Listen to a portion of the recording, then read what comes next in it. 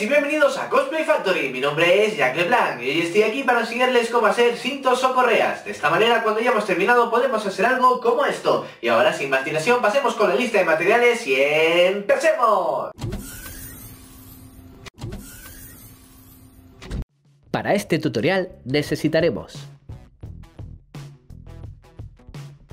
bolígrafo, regla y cúter, cola de contacto y un pincel. Goma eva. Betún de Judea.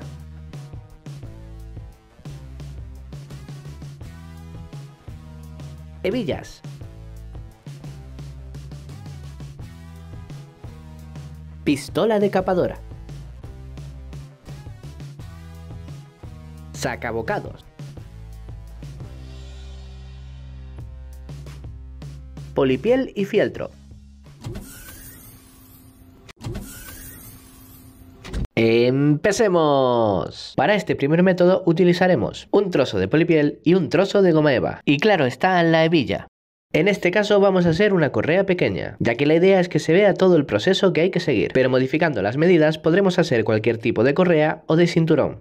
Ahora vamos a cortar las piezas que necesitamos. A la hora de cortar el largo tendremos que darle unos 2 centímetros más del largo final de la correa. En cuanto al ancho le daremos aproximadamente unos 2 centímetros de más, un centímetro por cada lado. En este caso el ancho de la correa que voy a hacer será de 3 centímetros, por lo que cortaré la goma eva y la polipiel a 5 centímetros de ancho. Para ello voy a ayudarme de esta regla que ya tiene ese ancho. Este centímetro que le damos de más al ancho nos servirá para hacer ajustes y así evitar los posibles desperfectos que pueden ocurrir a la hora de unir las dos piezas Además, podemos utilizar una de las tiras sobrantes para hacer el agarre de la punta del cinto.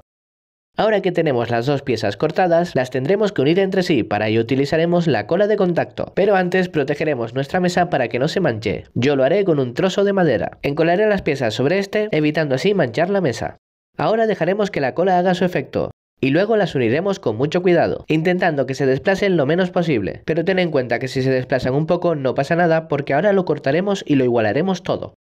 Ahora vamos a cortarlo a 2 centímetros y medio. En este caso da la casualidad de que esta otra regla tiene la medida justa, así que la utilizaré como guía. Colocaré la regla en el centro de la pieza, asegurándome de que haya sobrante por ambos lados. De esta manera nos aseguraremos de sacar una pieza completamente recta. Una vez que hayamos igualado los laterales, tendremos que hacer lo mismo con los extremos. Ahora vamos a coger una de las tiras sobrantes del lateral y vamos a fabricar el agarre del cinto. Para ello rodearemos el cinto, marcaremos y cortaremos el exceso. La idea es que una vez colocada esta pieza, la punta del cinto pase a través de esta, mejorando su sujeción. Ahora vamos a cortar la punta del cinto. Para ello dibujaremos en uno de los extremos la forma que tiene la punta. Y luego la cortaremos con la ayuda de unas tijeras. Ahora vamos a marcar la posición de los agujeros. El primero de ellos irá a 9 centímetros de la punta. Y luego dejaremos una separación entre ellos de 2 centímetros y medio. Haz tantos agujeros como necesites para poder ajustarlos sin problema. Asegúrate de que los agujeros estén perfectamente centrados. Para perforar los agujeros podemos utilizar varios métodos. Nos podremos ayudar de un sacabocados, podemos hacerlos con un punzón o incluso con una broca y la ayuda de un taladro. En mi caso voy a utilizar el primer método. Lo primero que hay que hacer es buscar el agujero cuyo diámetro coincida con la aguja de la villa. Y luego, poco a poco, iremos haciendo los agujeros. Para ello solo tendremos que hacer presión con esta herramienta en la posición en la que va cada uno de los agujeros. Si ves que te cuesta mucho hacer el agujero, ve abriendo y cerrando la herramienta mientras te vas moviendo alrededor del agujero. Una vez que hayamos hecho el primer agujero, comprobaremos que la aguja entra perfectamente y proseguiremos haciendo el resto de los agujeros. Y ahora que ya los tenemos todos hechos, vamos a pasar a colocar la hebilla en su posición. Para ello tendremos que marcar primero su posición. Esta será aproximadamente un centímetro y medio del extremo, dejando sobrante suficiente como para poder pegar el otro extremo una vez hayamos rodeado la villa.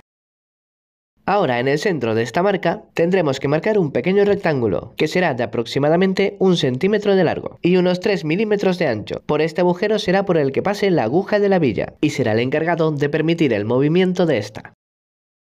Ahora colocaremos la villa en su sitio y doblaremos el extremo para marcar hasta dónde llega y así poder pegarlo. Ahora desmontamos la villa y encolamos bien la pieza con la ayuda de la cola de contacto. Mientras esta hace su efecto, marcaremos la posición del agarre de la punta. Este será a unos 2 centímetros de la marca que acabamos de hacer. Una vez marcado, encolaremos las piezas y dejaremos que la cola haga su efecto. Y una vez que lo haya hecho, podremos unirlas. Ahora solo nos queda comprobar que todo funciona perfectamente. Como podemos ver, no solo funciona bien, sino que además es bastante resistente. Y ahora vamos a pasar a hacer el segundo método. Para este segundo método utilizaremos fieltro, goma eva y por supuesto la hebilla. Lo que vamos a hacer en esta ocasión es darle textura a la goma eva para que adquiera el aspecto del cuero. Para ello cogeremos un trozo de papel de aluminio y lo estrujaremos dándole una forma alargada, como si fuera un sello de estampar. La idea es presionar la goma eva con este hasta que adquiera la textura que queremos. Para ello tendremos que darle calor a la goma eva, y como bien sabéis, al darle calor a la goma eva, esta se va a deformar. Por lo que en este caso, y para evitar desperfectos, la pieza sobre la que vamos a aplicar la textura será mucho más grande que lo que vamos a necesitar, ya que es muy probable que con el calor la pieza se deforme y perdamos algo de material intentando conseguir una pieza recta. Si le damos calor a toda la pieza al mismo tiempo, no nos dará tiempo de generar todo el texturizado, por lo que tendremos que ir haciéndolo poco a poco. Para ello, lo más recomendable es que una vez hayas terminado con una de las zonas, la cubras para que ésta no se caliente y se pierda la textura. Esta operación requiere de paciencia y esfuerzo, pero no te desanimes porque una vez que lo hayas terminado tendrás un efecto chulísimo. Una vez que estemos conformes con el acabado, cortaremos las piezas al tamaño inicial, que como en el caso anterior serán 5 centímetros de ancho. Una vez que tengamos las dos piezas cortadas y antes de encolarlas, le daremos el acabado final a la pieza. Para ello utilizaremos el betún de Judea. Aplicaremos una capa abundante de betún de Judea con la ayuda de una servilleta y luego quitaremos el exceso con la misma. Ahora que lo tenemos listo podemos encolar las dos piezas. Y cuando la cola de contacto haya hecho su efecto, las uniremos entre sí. Como en el ejemplo anterior, ahora tendremos que cortarlo nuevamente a lo largo y a lo ancho, dándole el tamaño final. Luego marcaremos y cortaremos la punta con la ayuda de unas tijeras. Después marcaremos los agujeros del cinturón. Recuerda, el primero de ellos a 9 centímetros de la punta y el resto a 2 centímetros y medio del primero. Ahora haremos los agujeros y una vez los tengamos hechos, colocaremos la villa en su posición. Marcaremos el agujero donde irá encajada la aguja y encolaremos la pieza.